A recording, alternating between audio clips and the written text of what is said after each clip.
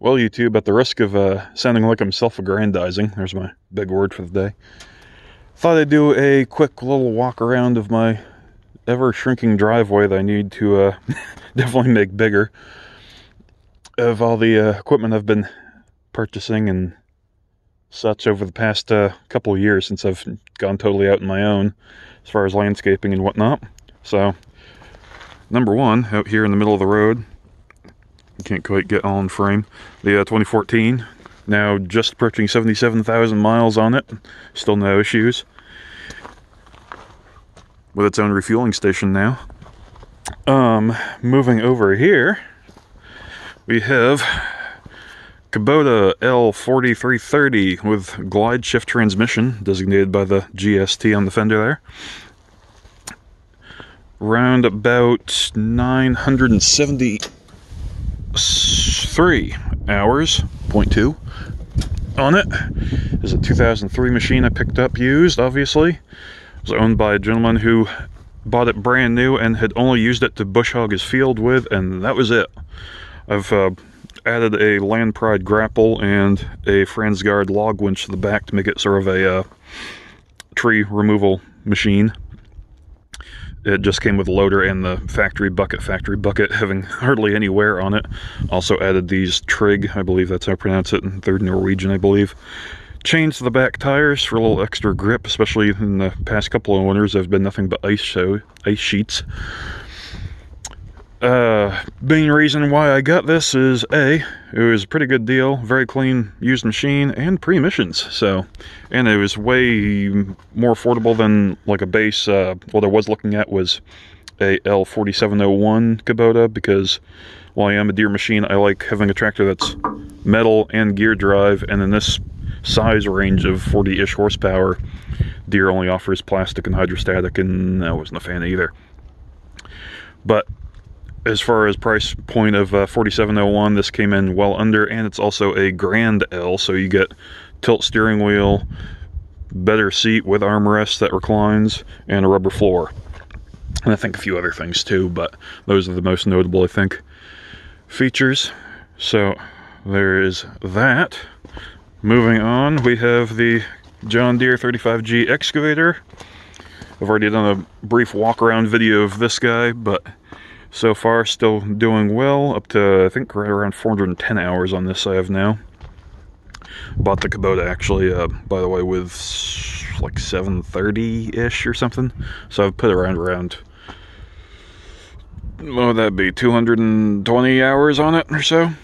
So, anywho, John Deere, I've since gotten a frost ripping tooth for it and a brush rake to aid in tree cleanup and whatnot because the seems like the majority of the work that I do these days is just cleaning up blowdowns and neatening up people's woods. Seems to be the uh, predominant source of income for me these days. Other source of income that didn't pan out this year was a snowplow. As you can see from the state of the ground, there is no uh, no snow. I think I used this seven times, all told, but it was a fairly good deal. It was a uh, year-end leftover. They'd use it around the dealership who sells these. Used it around the lot as a lot plow, and so it came in at sizable discount. I had them add the uh, snow deflector on there. Otherwise, it's uh, as it came. Barely anywhere on the cutting edge. Still barely wear any on the cutting edge from lack of use. But I really love the LED headlights on this, and the stainless. Well, I don't really know that there's any real practical advantage to it. It just looks so nice. I couldn't I couldn't pass it up. So nine foot two goes well with the nine foot straight blade. Just in case I need a backup, I got off Facebook last year, year and a half, with the big gummy headlights that are pretty meh in comparison to that thing. And to put this snowplow on is this 2019 Ram 3500. Wanted to get 5500, but that wasn't quite in the cards, so here's what I got. I think it'll do me just fine for at least few, at least a few years, I would hope. In Patriot Blue, which is almost, if we can get them right side by side, it's almost the same color blue. Apparently they don't make that blue. No, don't focus on the finger, focus on the truck. That blue anymore. So we go with what we got. It was it was sitting here on the dealer a lot, and it wasn't like I said, it wasn't a 5500, but it was blue, had the Aisin trans, had vinyl seats, rubber floor, and a shifter knob for the four-wheel drive that you just pull back, no button thing. So it was like, eh, this has got basically everything I want. So screw it. What's another payment?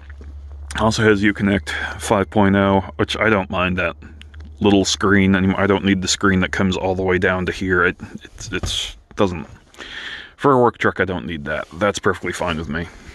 I know some will complain because oh I want the huge screen. I don't no I don't need that. This is this is totally fine with me.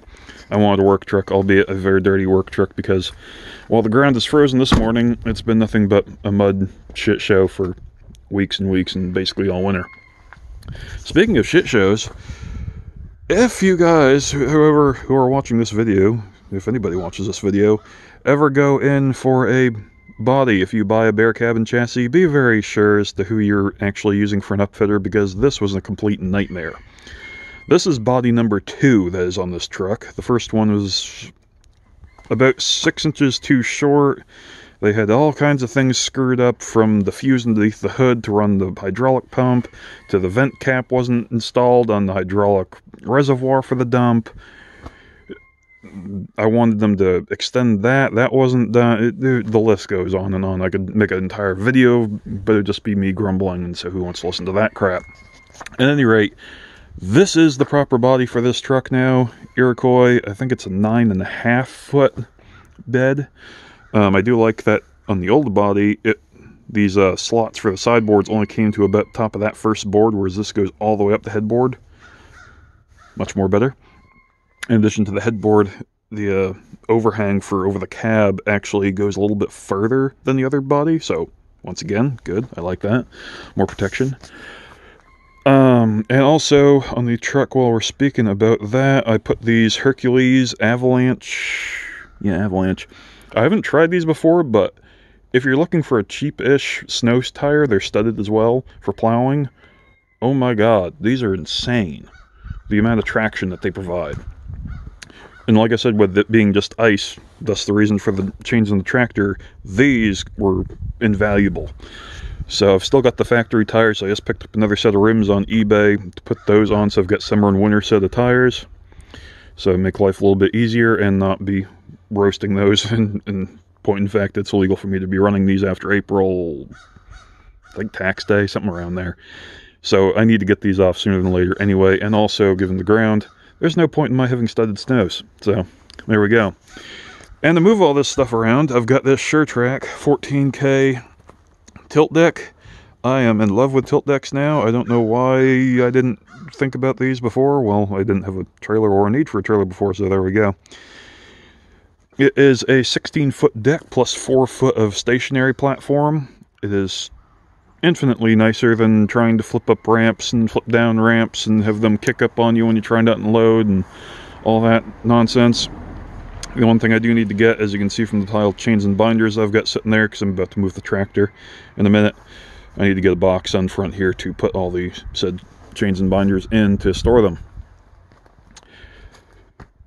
Yeah, this is very nice. I love it. Low low loading height and you just drive on. The only thing that's not the greatest for is if I were to ever go get like a bunch of pallets of something and set them on the trailer and then go to unload because trying to get you can't just drive up the ramps to get pallet forks and these stuff and offload it. So I mean there are some downsides to a tilt deck, but in my mind the benefits far outweigh the negatives.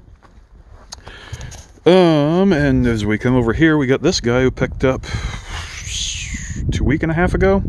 Really needed a wood chipper. This one just happened to be sort of the right place, right time type of a deal. I'm not all a brand loyalist when it comes to wood chippers, although I was sort of more leaning towards a Morbark if I were to get anything. Just from a more, I don't know, book learning type of a scenario.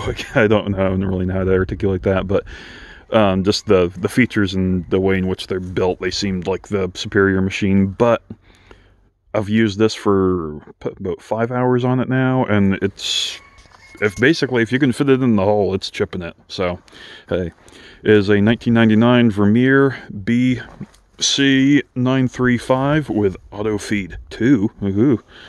Has a 50 horse Perkins diesel, so it's got the biggest power plant that was offered on this chipper. A few things I need to still address. Um, the brakes being one of them, one of the main ones. They're not working right now. Lights work, brakes don't.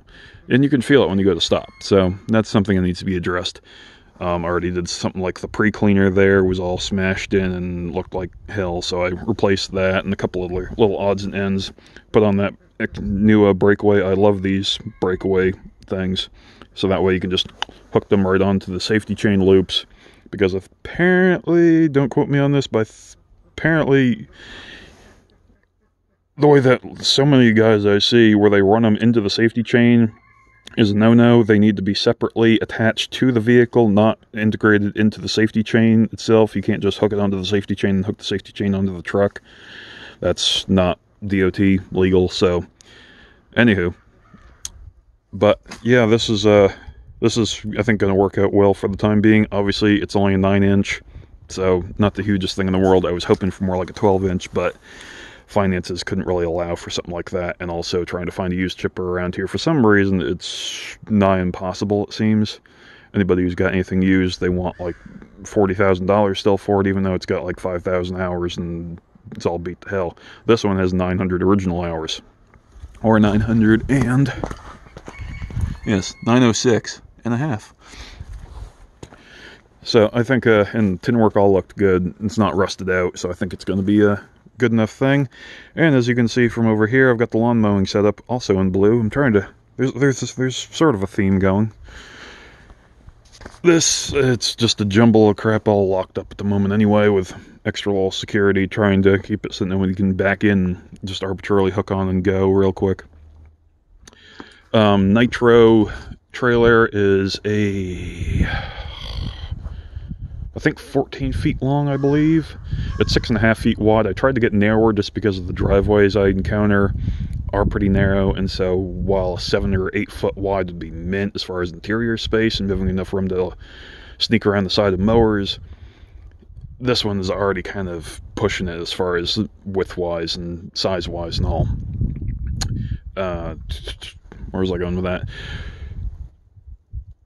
I don't know, having a brain fog. Um, this is this is a great video. I'm sure this is going to get plenty of dislikes. Anywho, stain uh, full uh, aluminum frame, aluminum body. So tried to do the buy once, cry once thing of just buy it once and have it, which is what I tried to do with most things. Try being the uh, optimal word there. But I'm not going to try to get in there right now because it's, like I said, just a jump. I basically put everything that's summer use inside that for winter storage, essentially. So it's it's a nightmare. So we're not looking at that at the moment. But anyway, that's uh, essentially what I got. Uh, not trying to brag, just uh, more or less actually more documenting it for myself at the moment. So I can see, just in case, you know, everything goes tits up with the coronavirus and we're all going to go bankrupt and payments go unpaid and repo man shows up. Hopefully not, but you never know the way things are going feel like I should go take out stock in Charmin and Scott's toilet paper. I don't get the toilet paper thing, but lo and behold, went to the grocery store yesterday. Yeah, it's bare. I don't get it, but whatever. People are weird. Anywho, on that note, time to end. Ground's frozen. I gotta go get some work done before everything turns mud. Thanks for watching.